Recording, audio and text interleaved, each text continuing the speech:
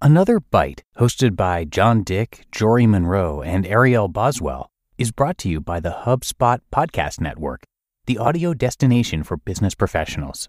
Each week, they break down episodes of everyone's favorite business television show, Shark Tank, offering their own unique thoughts, spin off companies, critiques, and even talk with some of the folks who pitched to the Sharks and live to tell the tale.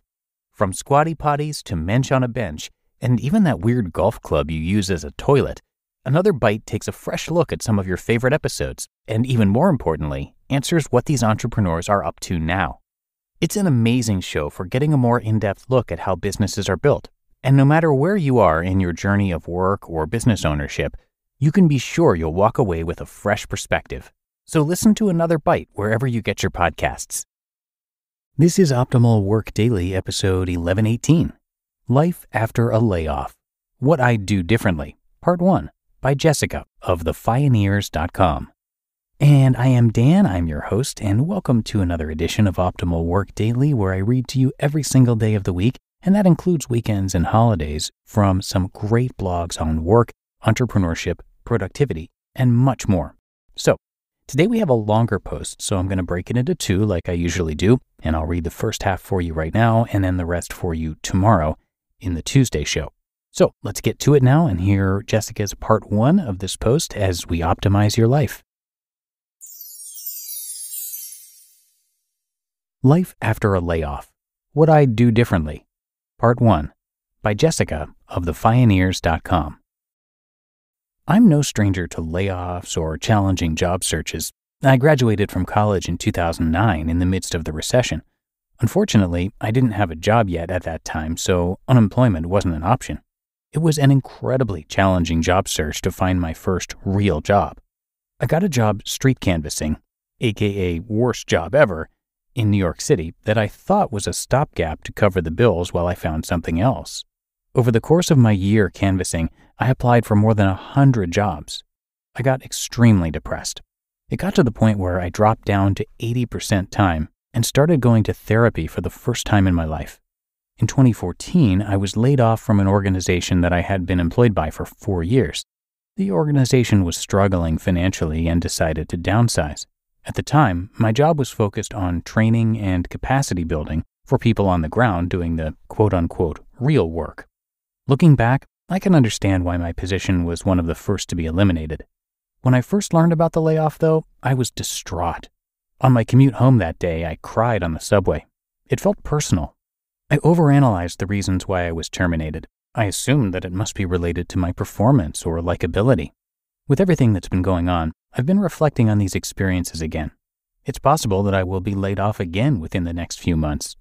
I know many people who have already been laid off, furloughed, or given reduced hours. I know a lot more than I did five to 10 years ago about searching for a job, layoffs, and the relationship between the employer and employee. I've been reflecting on how I would have approached these situations differently and how I would approach a future layoff.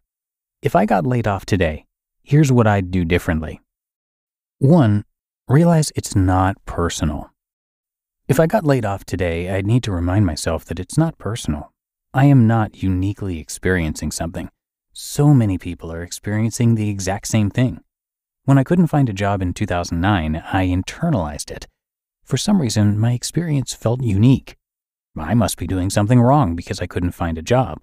I blamed it on my field of study and lack of experience. Surely those things contributed to it, but my experience was not unique.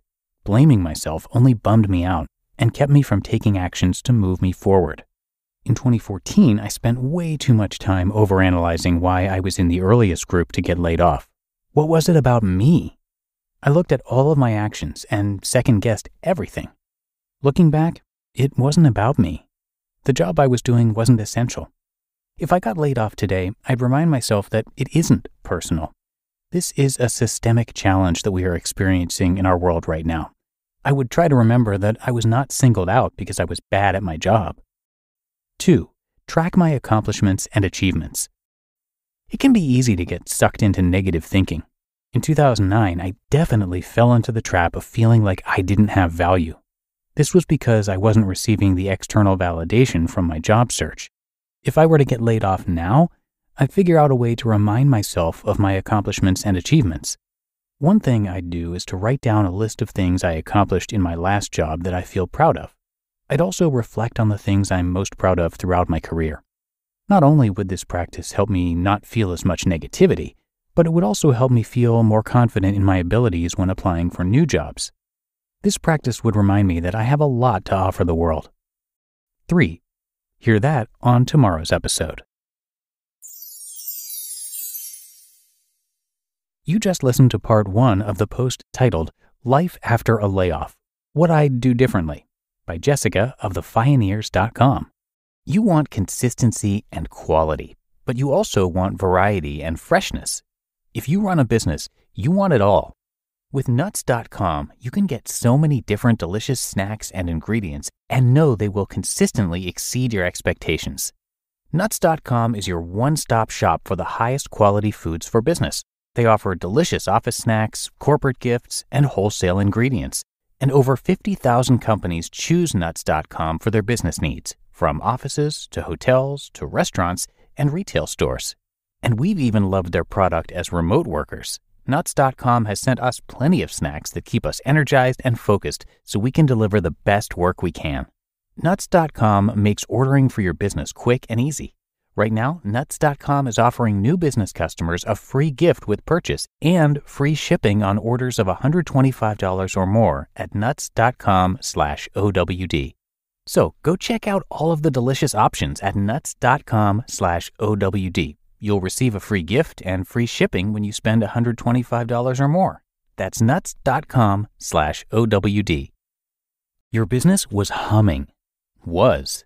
Now teams are buried in manual work, taking forever to close the books.